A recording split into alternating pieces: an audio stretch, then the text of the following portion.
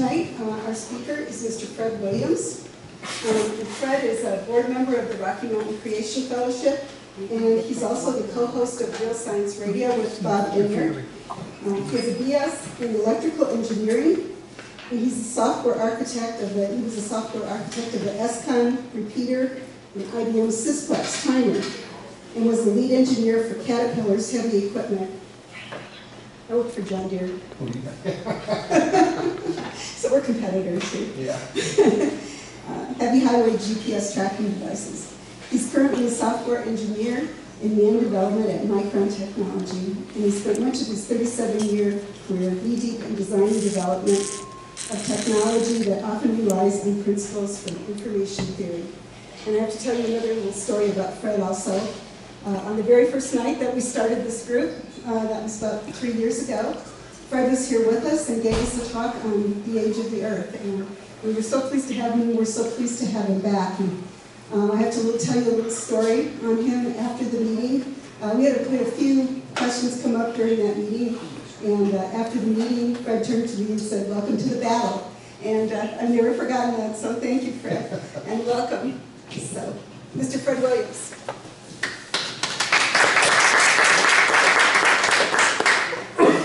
Oh, thank you.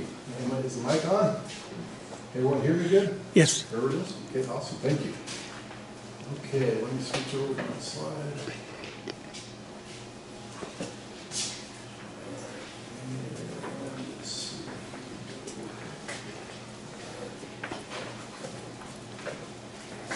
Okay, information theory and the demise of Darwinism. I've been wanting to give this talk for uh, quite a few years, actually. It's a very uh, interest, I'm very interested in this topic. I have been for a long time. I've debated a lot of evolutionists on this and even some creationists. Uh, I'll explain that a little bit more later. So I'm a co-host with Bob Enyart on uh, Real Science Radio. We're, we uh, air every Friday at 3 o'clock. You can listen to us on AM 670, or you can listen to the podcast, which is now second behind uh, Science Friday at PBS. We used to be called Real Science Friday, and they didn't like that, so they sued us, and uh, it was great for us actually because we got a lot of publicity. We were in the LA Times, the uh, front page of the Denver Post Business section, um, the New York Post. Anyways, so when you do a Google search on uh, what the universe uh, it is consisted of, you always get matter and energy. What you always you Google it, and this is what you're going to get: dark matter and lots of dark energy, normal matter and neutrinos. And so I could give an entire talk on this. In fact, we did for Rocky Mountain Creation Fellowship on the Big Bang.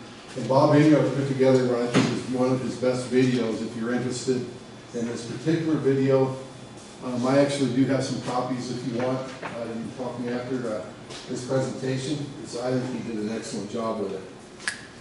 Okay, so John Wheeler, who's a famous physicist, he rubbed arms with uh, some of the biggest names. He coined the term black hole. He wrote the universe has three parts. He actually broke his career into these three parts. First, everything is particles. Second, everything is fields. And third, everything is information. So Norbert Wiener, professor at uh, MIT, he was uh, the founder of control systems, cybernetics. He said that information is information, not matter or energy. So imagine a robot that's been designed to play a piano, so you can make out from here the, the, the materials, the matter, and then obviously this thing's going to be powered by some, you know, a battery of some sort. But is, is that alone going to allow this thing to play the piano? You're going to need information, a computer program. Mm-hmm. So matter, energy, and information. How much does information weigh? If I had a piece of paper that had a note on one side and another note on another, I'm giving you two pieces of information, but that piece of paper weighs the same amount. You'd be amazed how many evolutionists will try to say that it weighs something because they're so committed to matter and energy is all there is. So I like what Bob said is, you know, well, how about, what does the letter three weigh? You know, information has no mass. So, uh, who's, uh, I think most of you are probably familiar with Carl Sagan. He, uh, uh, he, he had a, a show on PBS, and he also wrote a, no, a novel called Contact. And he was a, a devout atheist. He said, "We humans are products of a long series of biological accidents. So here's an atheist, and he writes this book, and then they make it into a movie. And I'm going to show you a very brief clip of this movie. It's one of the uh, dramatic moments in the movie. And it's interesting if you listen to what they discovered. So search for extraterrestrial intelligence. That's, uh, you know, they're looking for signals from outer space of alien um, intelligence. So let's watch this movie clip.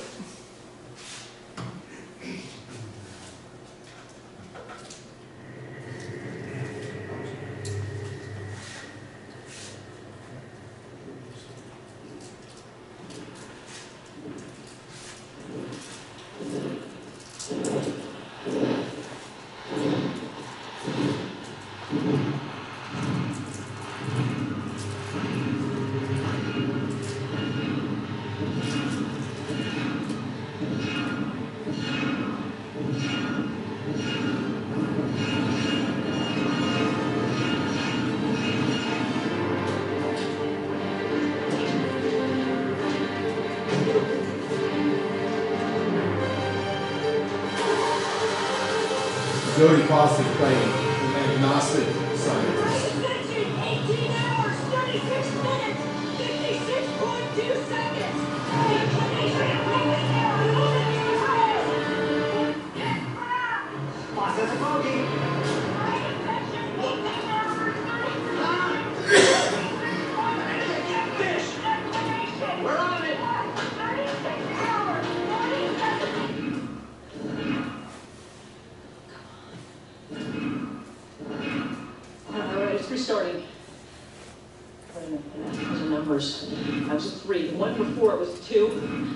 Um, base ten numbers, to start counting now, see how far we can get. One.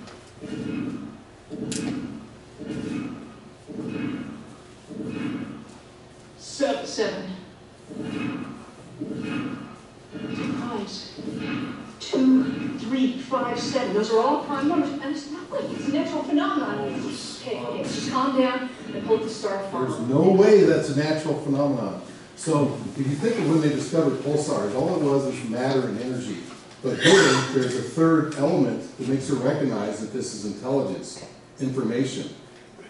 So there's quite an irony there with, uh, you know, how people treat that, depending on your worldview. So what is information? So if you look at Mount Rushmore, I think we all can say that, yeah, it's obviously intelligently designed, and that's information. You see SOS, you know, right now on a beach, and hopefully in low tide, you can, ask somebody needs help. Now, the bottom three, uh, I'm gonna say are not information, a snowflake. Now, it's interesting, uh, we did talk about this on the radio, and Bob said that, you know, snowflakes probably have a little bit of information, you can tell things like about humidity and whatnot, but generally it doesn't. A smokestack, that doesn't have any information. And then this, we'll talk about this a little bit later, I don't know if you remember the face on Mars, you know, some aliens, you know, you know, left that there for us to look at our planet. So what is information? Webster's this defines it as a communication or reception of knowledge or intelligence, and Wikipedia calls it the information is the resolution of uncertainty. That's Shannon type information. So I want to go through these really quick, just you get, get an idea what information is. Here's a history of information theory. Claude Shannon wrote a paper in 1948, um, and he, he wrote this paper for Bell Labs, really on the efficiency of sending a signal through a channel and, and improving throughput and channel capacity.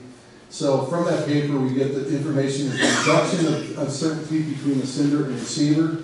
William Dembski, if you've heard of him, he's from the intelligent design movement. He defines it as complex specified information.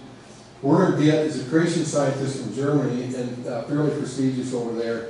And he, he came up with a concept called universal information.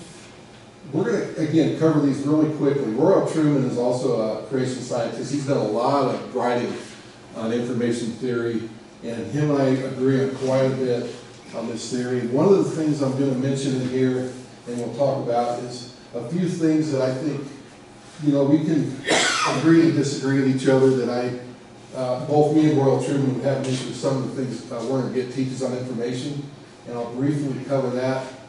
So, what's complex specified information? This is what the ID movement goes with, William Dembski. So Dembski said we need to show that it is improbably, i.e. complex, and suitably patterned, i.e. specified. So let's look at some examples. So imagine you saw laid out on your table these Scrabble tiles. Well, you can see from here, there's some words you can make out, but is this really information? Or is this just some random thing that happened? It's specified because you can make out some words, some patterns, but it's not complex. I want to give you an example here of where we definitely have information. So look at all the tiles that are uh, laying on the table, but you see three that are vertical, excuse me, four that are vertical, and they spell out the word love. We can say with pretty much a lot of certainty that that is information. It's both specified and complex. Somebody did that on purpose. If you imagine another example, you shuffle cards, and uh, by the way, how many times do you have to shuffle cards to completely shuffle the cards? Anybody know? About six or seven, right? It's seven, yeah. So you, if you shuffle a a deck of cards eight times, you're wasting your time. It's well proven by, the fact it was an MIT thing, if I recall. So anyways, if you uh, shuffle cards and you get what's on the left, that's what you'd expect, just random cards. If you get what's on the right, you know something's up. It's either a magic trick or there's something to it, because the, the probability of that, of that happening is astronomically low. In fact, it's ten to the sixty-seventh power. And if you think of, you know, actually get the exact set of cards, um, perfect, say a perfect uh, suits all the way through, um, there's ten to eighty particles in the universe, just to show you how many possible permutations you can get with cards. So, okay, so back to Gitt. So his, he has five levels of information. I think this is all reasonable. I, I really, I did enjoy Werner Gitt's book. And I met him at Rocky Mountain Creation Fellowship quite a few years ago when he came out and gave a talk. And I did talk to him briefly after the meeting. I disagree with him that uh, something uh, with Shannon, and I'll talk about that later. But he talks about statistics, and then the syntax, the semantics. The syntax would be like the letters and the words. Um, the semantics would be the meaning, and then pragmatics, which means action. And then he came up with, you know, apobetics, which is purpose. So that's Gitt universal information. I really do like this, one of the laws he came up in his book, that universal information can only be produced by an intelligent center. That should be a law of science because it's true. You cannot find any counterexamples. So Shannon information, I'm going to go back to this. Shannon information always was mostly Gitt information. Now, so Gitt said that Shannon information had no meaning and that um, uh, if, uh, more, the more information, the more random you got in your sequences and your symbols, the more information it had. That's a misunderstanding of information theory, uh, and I'll, I'll explain why. So now I'm going to talk about Shannon information. And, and I like to, me personally as an engineer, I prefer when I talk about information to, to use Shannon information for a couple of reasons. I think it's suitable. Second, and maybe most important, it's what evolutionists use. That's how they understand information, and we can beat them on their own, terms. So, Shannon information is basically sending something through a channel that gets encoded and then decoded and then received by a receiver, and it has an impact of noise. So now I'm going to spend about three minutes on a technical part of the presentation. You have permission to go to sleep or ignore me or get on your cell phones. And then an alarm clock's going to go off when I'm done with this part. But I did want to quickly explain for those who might be interested how Shannon came up with this formula for information. And it's really not that complicated. First, let's look at this example. If you had a bucket of balls, and you had red balls and green balls, and you were asked, okay, uh, I'm gonna, you know what, how many, we've got some number of red and green balls, and we're gonna put them in a bucket. And what are your, what, what knowledge do you have, say, if you see somebody put in four red balls into a bucket, and you know there's only gonna be four to be put in there, you're gonna know, if you're have high knowledge that a red ball is gonna come out. You're gonna win if it's a game show. If you happen to get three red balls and a green one and they go in the bucket, you're, uh, you have medium knowledge and medium entropy. You have some amount of uncertainty though. You could be unlucky and draw a green ball. Now, if you're unlucky, then you're gonna get two of each, and now you only have a 50-50 chance. So it's high entropy, and basically randomness increases information entropy. And this is where we have disagreements with like, we, uh, Werner Gitt thinks that this is high information, that Shannon taught that, and he did not teach that. And by the way, I, just to, to make a quick point, academia, you know, uh, teaching calculus in the colleges, there's no agenda there, so you learn math. Thank goodness that in academia, by and large, they teach information theory as it is and without an agenda. They could have had an agenda with it, randomness is information, because then that kind of fits with evolutionists wanting chaos and randomness to, you know, to, to create all life. But the academia doesn't teach that. I, I've, I've looked at reports, uh, you know, uh, uh, curriculum from MIT, Stanford, University of California, etc. So let me describe quickly Shannon uncertainty. So let's say you have uh, four possible characters that you can receive. So it's low entropy if you get all A's, and if you have a pattern where you have some number, uh, more number of A's, you have medium entropy, and then if you have an equal number of high entropy. It's similar to what I said before. So Shannon thought it was important to calculate the probabilities of each and to come up with a way to most efficiently send data through a channel.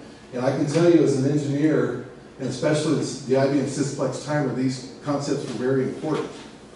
And I'll try to explain that now. So let's say you're, you're, you get two signals are sent out, so an A and a B. You need one bit of information. So imagine my hand is one bit. It's either thumbs up, you know, gladiator, you survive, and live, thumbs down, you're toast. Only two possibilities. So the reason why Shannon uses log base two, because it works well for that. You can take the number of possibilities, two, and take the log of two of base two of that, and you need one bit to be able to convey an A or a B. To do A, B, C, or, and, or D, log two of the four possibilities, you need two bits. So now if I got another hand of bits, then that, that would be one, one and zero, one and zero here, one and one here, and zero and zero.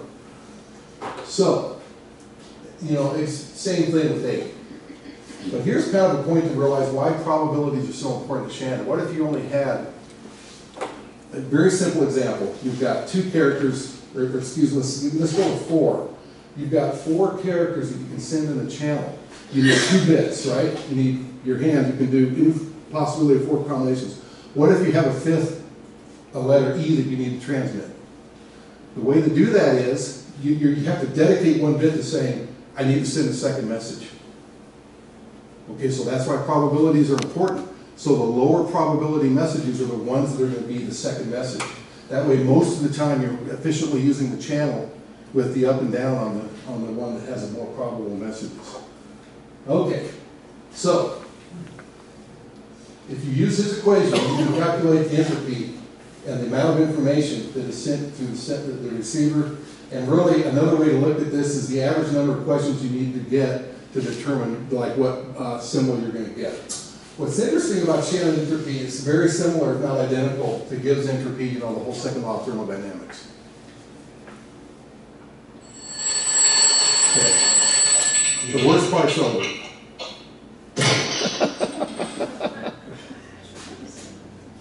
Okay, creationists and evolutionists confuse uncertainty with information, and uh, Werner Gitt does without question, he still does. Shannon wrote an engineering paper on maximum throughput through a channel, so naturally such mathematics would be agnostic to the message content. So in his paper, he said, the engineering problem here doesn't care about what the meaning of the message is, but then people took that and misinterpreted it and said that Shannon information doesn't have meaning. That's not true. A year later, Shannon co-authored a book with Warren Weaver and wrote that meaning, action, and purpose were implied in their work. And this is what he wrote, and that they wrote in this book. Level A, how accurately can symbols of communication be transmitted? How precisely do the transmitted symbols convey the desired meaning? This is Shannon a year later. How effectively does the received meaning affect conduct in the desired way? The effectiveness problem. Those are really three levels of Shannon information, if not all five, if you wanted to get down to the, uh, you know, you could really fit all five in there. So, let me give you an example. Let's talk about it, Shannon information, and then I'll do a really fun quiz. It'll include Wheel of Fortune example. So, information is not uncertainty, as I've been saying before. Information is the reduction of uncertainty. So imagine you've got the sender through the receiver, you always have to account for noise. In engineering, that's a huge thing. With everything, we have to account for noise, however you want to call it. And by the way, the channel could be anything. It could be an ethernet connection, it could be a piece of paper that I hand you, it could be the Bible. That's, you know, anything that's the medium is is the channel. So imagine that, uh, you know, Bob and I did this uh, promo thing up at Red Rocks, It was kind of silly, but you can watch it on YouTube. Now, if you, if you get noise, if you apply a bunch of noise and you get this as a signal afterwards, your information is zero, according to Shannon theory. I only show this because years ago, I don't know if any of you are boxing fans, I, I used to be, not so much anymore, Hearns Hagler, was a really big fight a long time ago. And me and a friend tried to find that fight in Boulder, and, and the bar said they had it, we went in there, and all we could see was noise, but we could make out sh- shapes and characters. But I was able to tell from the noise that my guy lost because he was a guy with hair. So, you know, I had a some amount of information. The noise distorted the signal, but you still, I did still receive some information. So what happens if your source is noise? You're gonna have no information because uh, your uncertainty before and after is the same, and so you're gonna have zero information. You'd be surprised how many evolutionists and some creationists say, well, Shannon says that that's maximum information. That's not true. Because in his paper, there's a section dealing with noise, and you have to subtract out this- the, uh, the uh, noise. So, let's look at an example of reduction of uncertainty. So I'm a season ticket holder of the Broncos, and I'm gonna go through this, and what they'll do at those games and at Nuggets and Avalanche games, I don't know if they still do at Avalanche games, sometimes they'll show, they'll ask you to guess who the player is, and then they start removing tiles. So anybody wanna take a guess who this is, anybody know yet? So, any idea? Riddell? So it looks like he's carrying the football. Any guesses?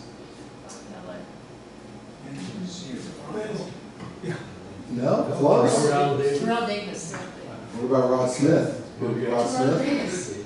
Yeah, Rod Smith is number eighty. Okay, you're right, it's Terrell Davis.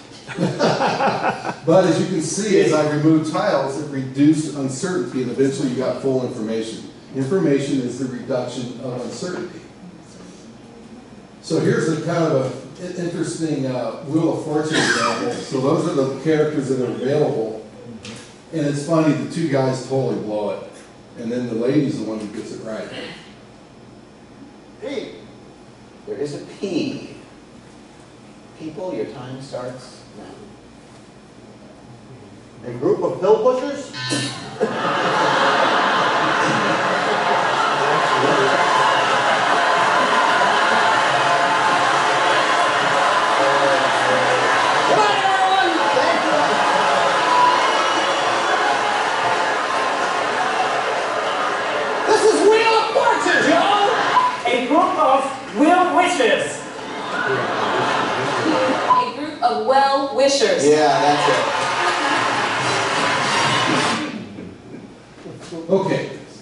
test time. So, is this information or noise? So this is that face on Mars. So this is what we received as a signal. So it does look like information, right? But we did, but once we had a better view of it, that's actually what it is. So it was noise. And so really, this is just an optical illusion. That's what it really looks like. There's no information there. What about this? Now, this is a stoplight with the red and yellow on at the same time. Is that information or noise? It's probably been planned, and so it's probably information if you know what the information is. In, in some states, it's a signal that you're about to turn blue, if I remember. The technological, yeah, it could be, and if it is, it's noise, right? It's not information. Yeah. So you were actually pretty close. So in the United States, it's noise. In Europe, it's information. Because in, in Europe, like in England, you can have red and yellow, which I do think is, uh, you can get ready to go, something like that. Okay, I only show this because I, I was fortunate enough to win the lottery and, uh, you know, with the Broncos season ticket holders and got to go to Super Bowl fifty. And I only show this, I was glad I found it, because I remember, you know, a, a plane was doing this ad for Doritos, so obviously that's information. But I almost didn't get to see Super Bowl fifty because we were walking to the stadium, and I'm looking up at that thing, and I did one of those one-minute falls, you know, and when you're older, it hurts when you fall, and I'm doing this. And I was losing my balance, and it's like I'm gonna go down, and I did, thank goodness I didn't break anything. Um, so is this information?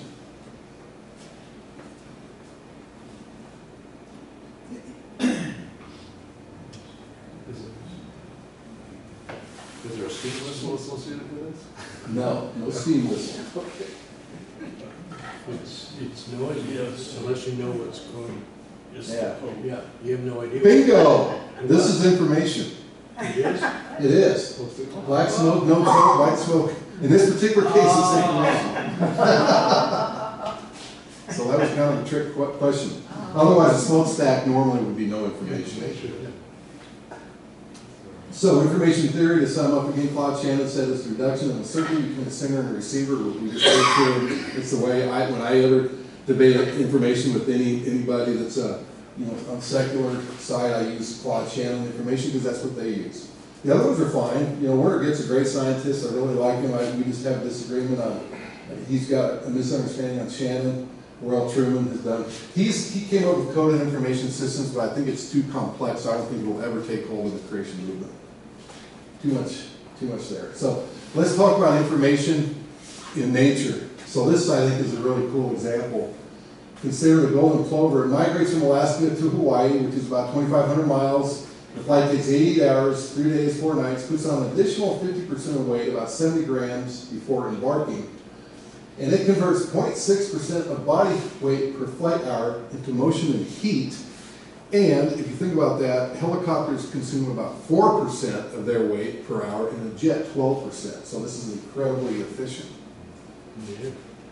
So at this rate, all the fuel, body fat, would have been exhausted 500 miles short of Hawaii. They've done the math, they calculated, and this is true, this would happen. So the birds would run out of steam and they'd plunk into the, into the ocean. But they do make it to Hawaii. Anybody know how? I mean, Usually, why, why you usually, Right in the air currents? yeah. Did you hear that? what, They fly in V formation. yeah, oh, yeah. Oh, yeah, yeah. So, and the weaker birds will take turns, um, you know, uh, they'll kind of stay in the back and the stronger birds will go up front, which is in- interesting in itself. Where do they get the information to do that? You know, when the parents leave, they, they, you know, they mate, in in Alaska, the young birds don't, aren't told by their parents, this is what you have to do to get to Hawaii. First of all, how do they find Hawaii? Which is remarkable in itself. They could go, and actually, because of this flying the V formation, they could go five hundred miles past Hawaii because of the savings that they're doing here. So, again, where's the information? How does evolutionists explain that? Did the little chicks say, hey, we, hey, look, there's, they're flying in a V formation, you better do that too? No, the information was already programmed in their, in their brains. So Charles Darwin offered the following test for his theory. Think about symbiosis and its information content. If it could be proved that any part of the structure of any one species, species had been formed for the exclusive good of another species, it would annihilate my theory for such could not have been produced through natural selection. And we found all kinds of examples of symbiosis in nature. But I really like this, this one here, I'll just show you real quick. It's a shark and a cleaner fish. Man, how does evolution explain that? It allows one type of fish into its mouth to clean its teeth, the, the, the the cleaner fish. So how did, how did this ever happen? There must have been a lot of cases where this, this didn't fare well for this guy. But this is the one I like that's recent in the news, is, uh, you know, these trees that communicate with each other, and they call it the wood wide web. I mean, that's really what they call it. She discovered the trees send warning signals about environmental change, search for kin, and transfer their nutrients to neighboring plants before they die. And you've got a symbiotic, symbiotic relationship with uh, the fungi beneath them. So, uh, we, uh, Bob recently interviewed Lee Spetner on the radio, and I heard it was really good. I haven't listened to it yet. And he, uh, you know, he's one of the guys that, uh, he wrote a book um, after the discovery of DNA. And it's funny, I was asking Bob about this. And I said, well, what's, you know, when did he become a creationist? Well, when he wrote his book, he was an atheist. And he said that after he wrote his book, he went, he read his own book and he became a creationist. it's like, how could this happen by chance? So he wrote a book called Not by Chance. It's one of my favorite books. And uh, he said, in all the reading I've done in the life sciences literature, I've never found a mutation that added information. And he speaks in terms of sharing information. The, the uh, neo-Darwinian theory says not only that such mutations must occur, they must also be probable enough for a long sequence of them to lead to macroevolution. So he's never found a single example, and there should be zillions if evolution is true. Uh, Jerry Bergman, uh, he's so prolific writer, uh, he, he did some research and he did a search for uh, mutate, beneficial mutations. And he had, uh, uh, you know, he's able to search these databases that have all this uh, information from the genome. And he found 453,732 mutation hits. Only 186 were beneficial. And he, he looked at all 186, and trust me, if you know Jerry Bergman, he would have looked at all 186. And when he examined, examined them closely, they resulted in the loss of some function. It was actually a loss of information, and yet it was called beneficial. So has anyone seen this clip? This is, yeah, this famous clip if you haven't seen it. This is, uh, he's gonna ask Richard Dawkins to give an example of information at the genetic level. Go on watching his reaction. Can you give an example of a genetic mutation or an evolutionary process which can be seen to increase the information in the genome?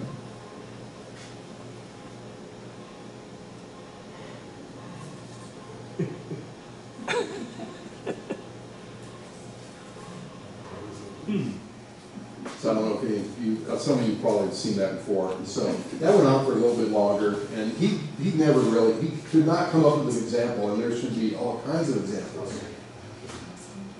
So, you know, in the years I've deba- debated evolutionists, a lot of times they'll refer to the sickle cell trait. And this is from a, a, we- a popular humanist website. You go on there right now, it's, it's called bigthink.com, and they're, you know, they're giving examples of, uh, beneficial mutations. And this is how desperate they are to find one. They use a disease. Yeah. So here they say people with just one copy of this gene are 29% less likely to get malaria, while people with two copies enjoy, and you've got two copies, you're in serious battle, Yeah. enjoy a 93% reduction risk. And this gene variant causes at worst a mild anemia. So when they're- they're saying the one copy version causes at worst a mild anemia, that's not even true. No. Nowhere near as debilitating as sickle cell disease. So that is not true. Uh, they're using a disease as an example. And I don't know if you guys remember when uh, Tim Tebow had that great playoff game against Pittsburgh Steelers and how one of the Steelers had to stay home because of the sickle cell trait. He had lost, uh, he had lost his, uh, let's see here, uh, damage, he has damage so severe when he had this, and he had his spleen and gallbladder removed from the sickle cell trait. So that's a serious disease, and that's not an ad, it's a loss of information.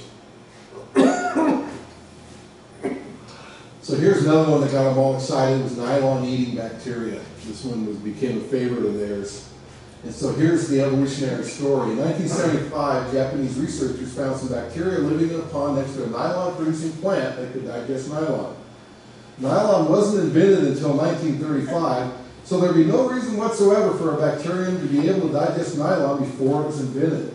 Thus, in a mere 40 years, a new gene had evolved, allowing the bacteria to digest something they otherwise could not digest. Okay, that sounds like a, you know, maybe a reasonable, you know, um, story for them to try to promote.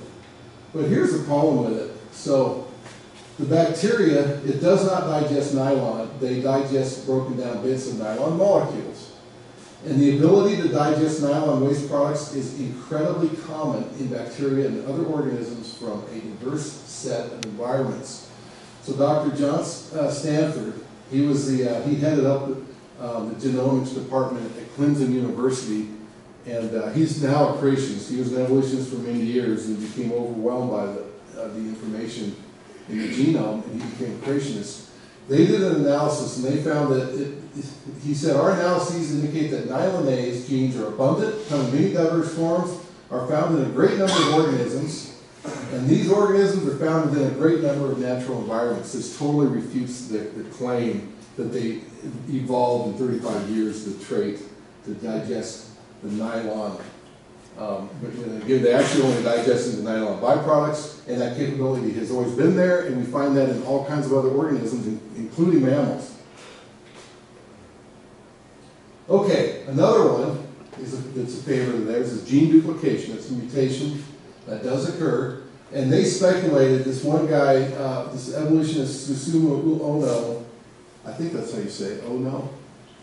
To speculate that the gene for one of the enzymes had come about from a combination of a gene duplication with a frame shift mutation. So that's their dream, is like you have this extra copy of a gene, and then somehow takes a mutation, and now you have a mechanism for adding information.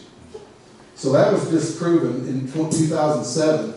He said that there was no frame shift mutation involved, and however, many genes have been discovered which did evolve by gene duplication followed by a frame shift mutation. They really want that. A gene duplication plus a, a mutation. Gene duplication mutation. And I'm not kidding. I had to highlight that. Citation needed. If they had one, they would use it, trust me. I did a search.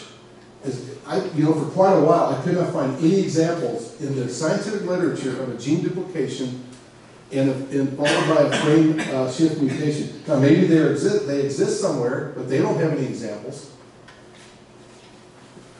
Okay. And then when you actually do a search for gene duplication, you come, here's what I came up with. Pancreatic cancer. Gene duplication explains tumor aggressiveness. And then here's another uh, uh, Wikipedia page on uh, gene duplication and, and its role in all these different cancers. It's not a good mutation. Okay, so on gene duplication, another point to make as far as information goes. So this is a product we did at Data many years ago. We sold it through IBM, and this is called an ESCON Director. And I was responsible for those two CPUs in the middle as far as the redundancy. So both of these CPUs had the exact identical software on them. But if one of them failed, there, there was switching logic to switch to the other CPU. So that was not double the information. The only extra information was the switching logic that was needed to, to switch between the two CPUs. So, that's, the added information is the switching logic, it's not double the information. And then RAID five, I don't know if you guys are familiar with storage and RAID devices, but you don't get double the information by having an extra set of drives. I'm not gonna go through that, um, it's, it's maybe, you get twenty percent more information, um, because of the redundancy that you have through all these stripes along this RAID device. I'm not gonna skip that. Um, so who here has heard of Dr. Francis Collins? He's pretty prestigious, he runs NIH. And, uh, so he did this thing with gene duplication, and it says, the new analysis shows how extra copies split the work. So that's, that's a fantasy, he even admits that in so many words at the end of that article. And just real quickly, if you think about how, if you have something split the work, we did a product that, uh, for uh, IBM called Sysplex Timer, and you had two identical units, exactly identical, running the same exact software that would be connected to each other, both for redundancy, and also included, improved the clock accuracy by using this phase lock loop between four oscillators. That's, some guy at MIT actually designed that oscillator system, and I wrote software for it. Um, That's not double the information. Um, and if you remove one of these guys, the system was degraded, and you were in the, in the, in the place that uses these, and it's very critical for them to have accurate time, and especially the same time to go to different IBM mainframes. So it was more important to have the same time as it, than it was to say, okay, I'm off by five minutes. They don't, they don't like that, but they definitely don't like this IBM mainframe being five seconds different than this one. That's too much. So, this is super cool. The DNA, they've recently discovered, I'd say in the last 10, 15 years, that the DNA encrypts multiple codes. Bill Gates said the DNA is like a computer program information, but far, far more advanced than any software we've ever created. So what does this mean? That you can have, that DNA can encrypt multiple codes? Imagine reading a book, and, read, and it tells a great story, and then you can read the book backwards. Read the letters backwards in the book, and it tells an entirely, entirely different story. They found that the DNA can be read in one direction to, to uh, perhaps uh, this, uh, describe a protein that's going to be built, and then the reverse direction to add like qualifiers to it, of how much of the protein should be built. They've actually found multiple ways that the DNA can be read, multiple dimensional ways. That's, that's unbelievable. How could that, how could an engineer ever not believe that there's intelligence out there, that there's an information giver? You, you, you are without excuse. So here, scientists discovered double meaning in the genetic code, second code hiding within the DNA. So imagine you've got this DNA that says build an antibody to fight infection, and then you read it backwards and it says add more when it's cold outside. So here's the problem. So now you've got this DNA chain that does these two different functions. If you take if you suffer a mutation, you're gonna clobber both messages. So now you're gonna have build antibody, you know, and there, and so it totally becomes a, um, a gene, a gene that, uh, will get recycled and the, uh, quality control system in the genes is amazing too. Here's what this scientist said. The fact that the genetic code can simultaneously write two kinds of information means that many DNA changes that appear to, appear to alter protein sequences may actually cause disease by disrupting gene control programs or even both mechanisms simultaneously. Could you pronounce his name? Yeah. Uh, maybe later. See you later. So, when DNA encrypts 12 codes, a rare beneficial, so they found actually 12 different ways that DNA can be read, not just the two I mentioned. That's amazing. So a rare beneficial mutation, let's say it even happens, it has to not break functionality of the other 11 codes. So how could you ever get the beneficial mutation? You can't. So this is a guy, he's a, he's a founder of the uh, Thomson Mass Spectrometry Laboratory, member of the National Academy of Sciences in Brazil. He's become, he's quite a prestigious scientist. He said this, as a biochemist, I became skeptical about Darwinism when I was confronted with the extreme intricacy of the genetic code and its many, and, it- and its many most intelligent strategies to code, decode, and protect its information. Okay, here's another one that they were celebrating, and they said, this is Mother Jones, one of the many, many, many liberal uh, media outlets on the internet. Um, And it says, this is the most powerful evidence for evolution that you can imagine. And what is this? So let's talk about it. By the way, that's a big science. So here's the claim. All great apes have 24 pairs of chromosomes. Two fused together in the past to arrive at 23 pairs on humans because they think we share a common ancestor with great apes. Yeah. So, they looked at the genome before they could really get details of it. The correspondence of chromosome 2 to two ape chromosomes. So they see, they said that there's near identical DNA sequences. I'll show you an example. So they found the presence of a vestigial centromere and the presence of vestigial telomeres. So let me show you what I mean. So here's the ape. And then those two fuse together, and now that's what we have in humans, and they say that they can see like little pieces of um, functionless vestigial centromeres. You know, the center of the chromosome has a certain pattern. Okay, so they claim they found that, so that would boost their theory that this fusion happened. Same thing here. They say, oh, look in the middle, there's these things that are like telomeres. We knew at the time when they did this that they were selectively picking pieces and we did not fully have the ape or the human fully sequenced. So they were using scant data and cherry picking. We knew that at the time, but now we've actually got the genome. Here's what we discovered, and this is from Jeffrey Tomkins. Of course, the evolutionists aren't going to report on it. When we looked at it, there's a functional gene sitting right there. Totally refutes their argument. It's, it's a binding switch.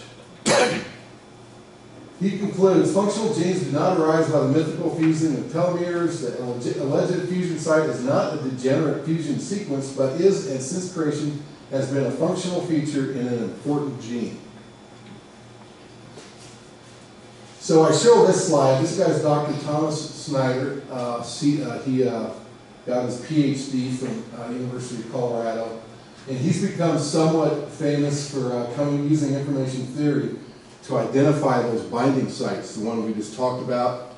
I used to correspond with him quite a bit years ago, and I, I, I've been thinking about maybe trying to get a hold of him again and ask him about, hey, what do you think of this so alleged fusion of the, you know, um, ape chromosome? And because he's really big on identifying binding sites, and the work he did here was impressive.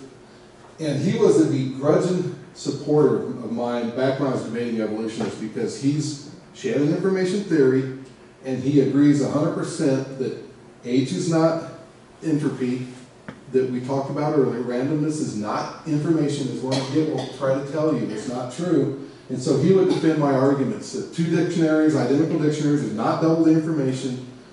Um, he's a committed Marxist, he's an evolutionist and atheist, but he understands information theory and he became a valuable, if not unwitting ally back in the day when I was really debating evolutionists on this.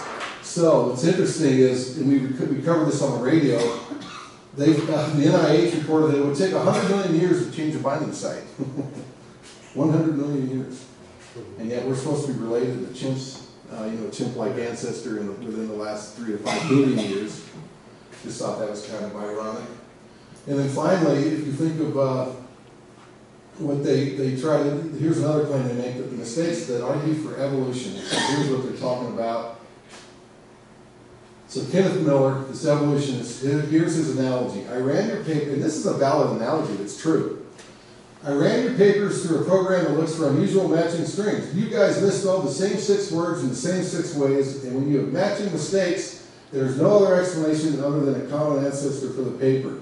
So my sister, who was a college professor, she would use these programs to detect uh, plagiarism and, you know, things like this.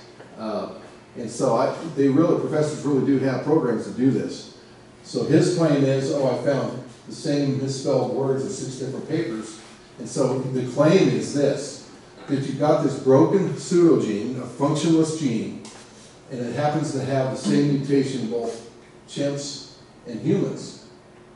But here's the problem with that argument, it always has been from the day one, and it, uh, the argument totally evaporates if those pseudogenes are not useless genes. That was their number one premise, this is a useless gene, and hey, it has the same mistake in both humans and chimps. But that was always a flawed assumption, and now we know that pseudogenes, everyone they've looked at now, we know that they have function. They started realizing they must have function because they find a mutation in one, and it was related to a disease. So obviously, it's functional if a mutation causes it to cause a disease. Pseudogenes that have been suitably investigated often exhibit functional roles, and this is from, you know, this, this secular publication. And just as, as, here's another thing, the impact of a beneficial mutation on the genome is akin to taking a ten dollar bill from Nolan Arenado's two hundred and sixty million dollar contract. Why do I bring that up? Um, Dr. John Sanford, who I mentioned earlier, I thought he came up with a good analogy, and that's the princess and the pea.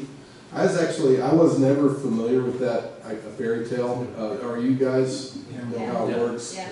About how if you're a princess and you're in a bed, and if you detect a pea, that proves you're a princess, and it's like layers and layers and layers of mattresses. So the point here is, even if a beneficial mutation occurred, let's just say that you give them one, okay, let's say it occurred. Natural selection can only select people, it can only select individuals. Nat- natural selection cannot see at the genetic level. It cannot see down into your genome to see that there is some advantageous change. It can only select an individual. So natural selection could never, ever, ever even see a beneficial, mutation, even if it occurred. Okay, so this is math plus evolution. It's, it never has worked out well for them. We knew that when they said that we were ninety-seven percent similar to chimps, that that likely wasn't correct because they were using assumptions, they didn't have the genome. And yet, the Smithsonian Institution and so many places still say, they even say like ninety-eight percent similarity. And my wife was grabbing me as I was heading in that section because she knew I was gonna cause trouble and she was correct. So, um, when they were saying ninety-seven percent, I actually sent, uh, Dr. James Crow, who published regularly in, in Nature magazine and Science, the Science Journal.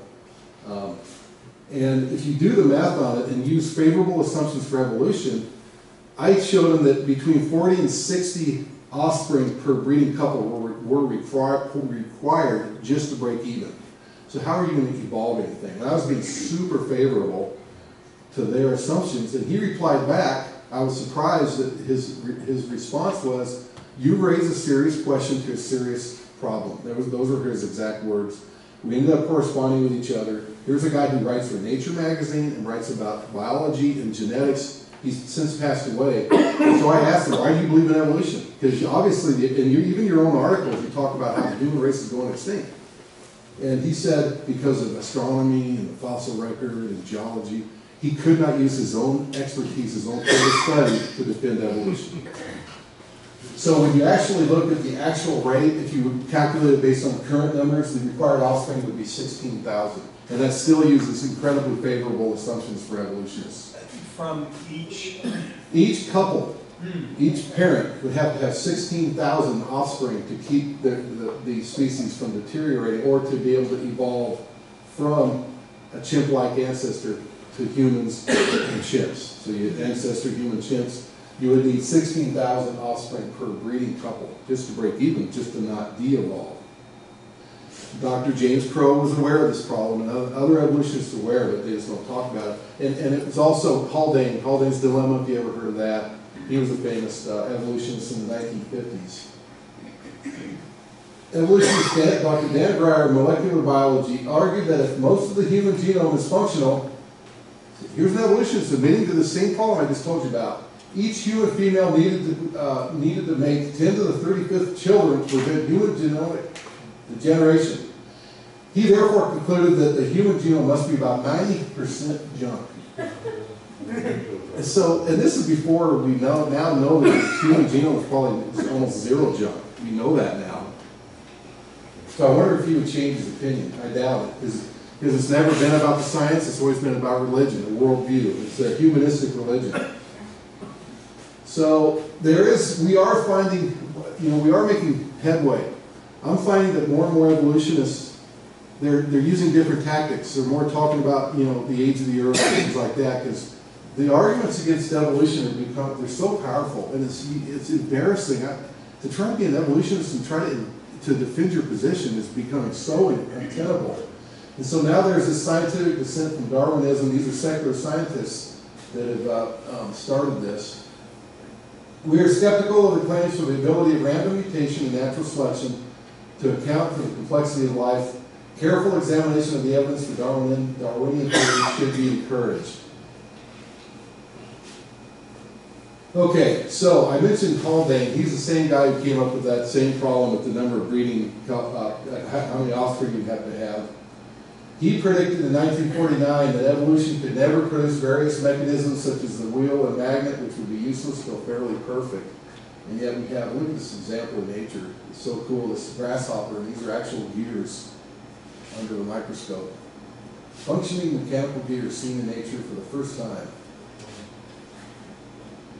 The giraffe, has anyone seen this before? It's uh, interesting that, so the giraffe has a heart that weighs over 24 pounds and pumps 16 gallons a minute. It has backflow, one-way backflow preventer valves in the neck to regulate the flow of blood to the head. And it has blood, there's blood vessels in the giraffe's head that are very elastic, and then it has blood vessels near the feet that are thicker and much less elastic. Why? You know, because, uh, and I'm not um, a mechanical engineer, but if you talk to somebody who knows fluid mechanics, is you try to pump fluid against gravity, there's an exponent, exponential rate of pressure that you need. So you've got a giraffe who's got this, you know, this huge heart, and then he lowers his head. And how does evolution explain, you know, what happened? Was that like, the, it seems like we find a lot of dead giraffes in the fossil record, you know, they didn't quite have those valves evolved in the neck. But instead, it has, it has valves in the neck that close when he puts his head down. So now your blood doesn't go gushing into the head.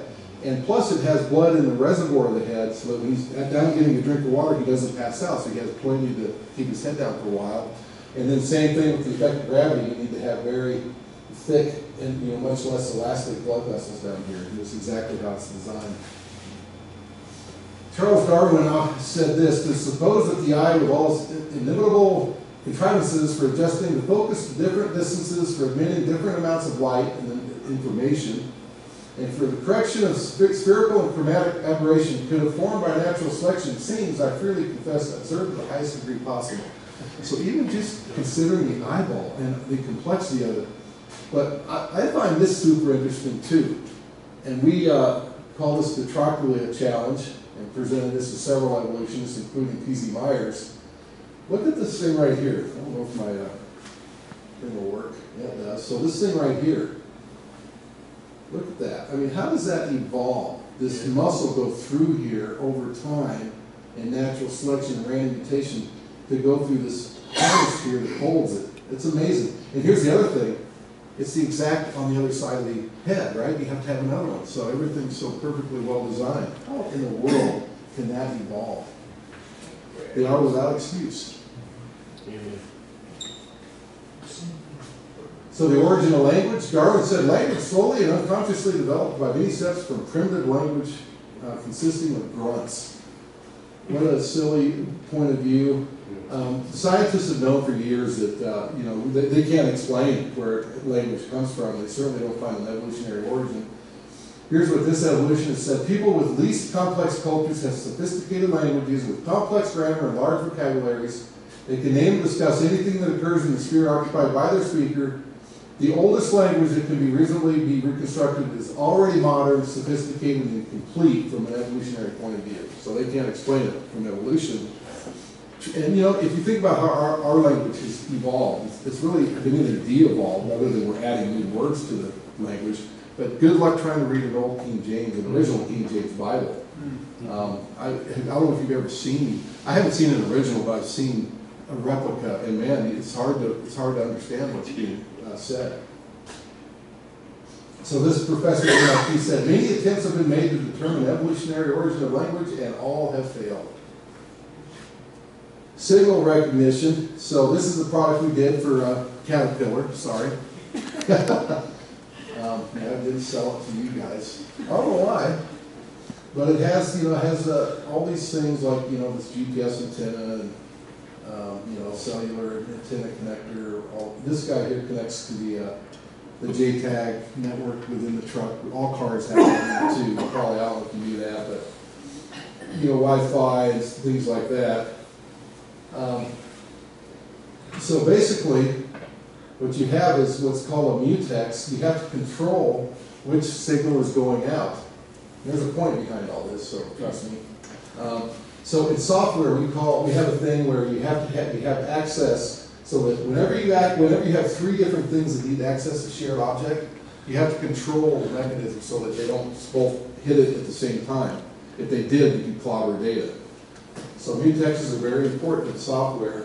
Well, it's super interesting that we see the same thing in design in the fertilization process. This is a sea urchin. Um, and just the, the mechanism it uses to, uh, to shut things down when the sperm hits, you know, it hits the egg and actually fertilizes the egg. Because if you get two sperm doing it at the same time, it's called polyspermy, and that's really, really, really bad. So here's what they discovered, and it's a mechanism to prevent this really bad thing called polyspermy. There's a, initially there's a fast block, so as soon as the egg gets fertilized, there's this resting potential across the egg changes from about minus 70 to 10 mil, uh, millivolts within one to three seconds after fertilization. And then there's a slow block process that's more mechanical, and these these granulars release their contents into the space between the egg cell membrane and its outer coating, creating a hard envelope that sperm can't get through. This lasts about a minute. So it's an incredible process. And, and Dennis Hoffs is the one who brought this up to me. I don't know if anyone remembers Dennis. He actually started Rocky Mountain Creation Fellowship many, many, many years ago. Uh, he he uh, lives in Texas now. Uh, great guy. Uh, okay, so then any, has anyone heard of the zinc spark? So this is more recent in the news now. This is a human fertilization, which is super cool. And it was interesting that at first they did, they, you know, there was no papers on this being a mechanism to prevent polyspermy. And then uh, when it first came out, and then recently they have admitted they found evidence that it helps prevent polyspermy.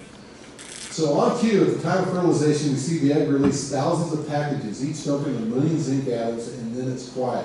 So all these little, when the egg gets fertilized, all these little packets here release a million zinc atoms. So there's a total of over a billion released at the same time.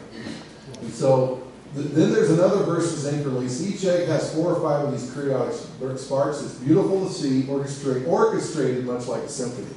So think of the information and design to do this. So, and then as I mentioned, we now know um, that it's, uh, it's this mechanism helps prevent polyspermy. So it's similar to what we do in software with the mutex. So watch this, uh, here's an example. This is a, the zinc uh, spark in mice. So these are eggs that are getting uh, fertilized real time. And you'll see a spark as an egg gets fertilized. So I'll go ahead and start it.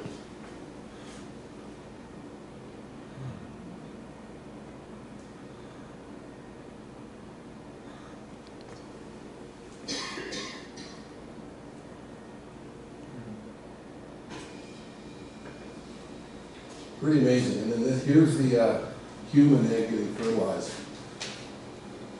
At the moment of fertilization, right there. It's called the zinc spark. Pretty cool. Okay, so I'm gonna close with this, and it's, uh, um, it's my, uh, one of my favorite examples of, uh, the design of nature. Um, it's such a cool presentation, it it lasts about two minutes, and it's, uh, how these animals could use camouflage. It was so cool. So go ahead and start this. You're gonna dive into the deep sea.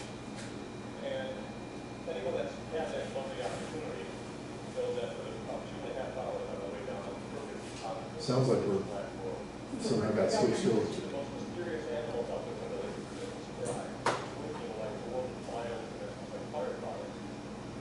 Dr. Edith Widder, now at the Ocean Conservation Association, was able to come up with a camera that could capture some of these incredible animals that you're seeing here on the screen. It's all bioluminescent, like I said, just like fireflies. Just flying turkey.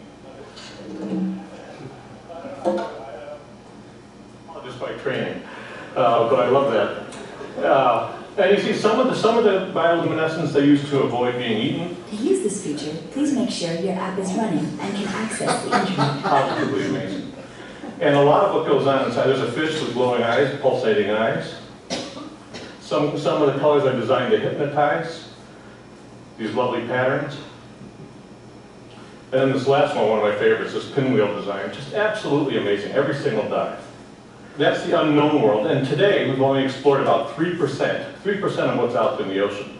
Already we found the world's highest mountains, world's deepest valleys, underwater lakes, underwater waterfalls. A lot of that we shared with you from the stage, and in a place where we thought no life at all, we find more life, we think, in diversity and density than the tropical rainforest, which tells us that we don't know much about this planet at all. There's still 97%, and either that 97% is empty or just full of surprises.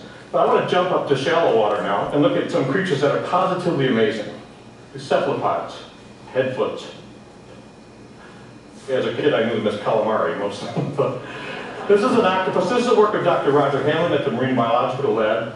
And just fascinating how, how cephalopods can, with their eyes, incredible eyes, sense their surrounding, look at light, look at patterns. Here's an octopus moving across the reef, finds a spot to settle down, curls up, and then disappears into the background.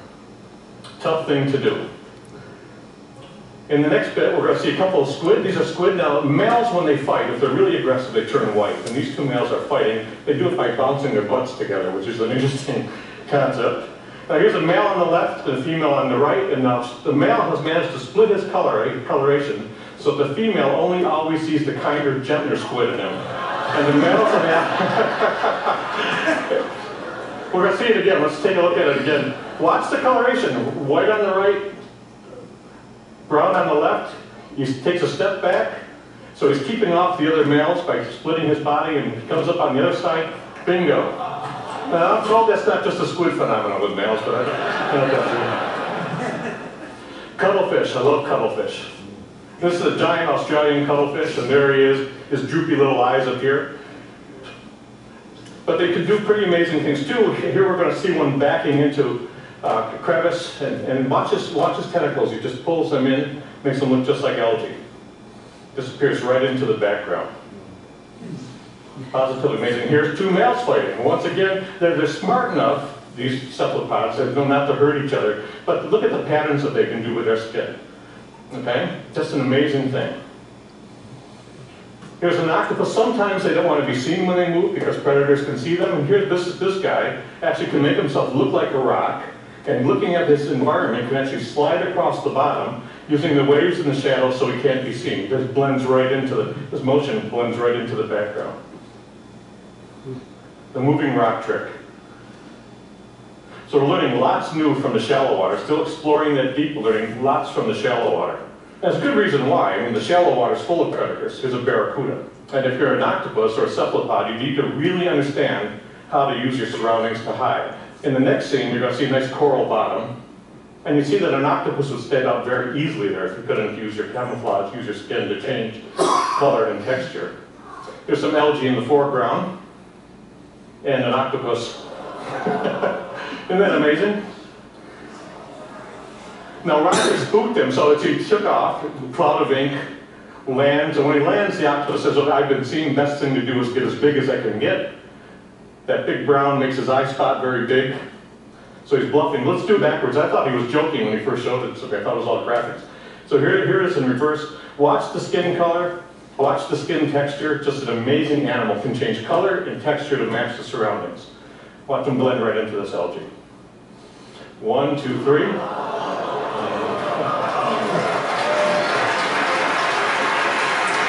Now he's gone and so am I. Thank you very much. Thank you. Okay, so, Romans one, for since the creation of the world, his invisible attributes are clearly seen, being understood by the things that are made, even, even his eternal power and Godhead, so that they are without excuse. So, you know, God's evidence for creation is the creation itself.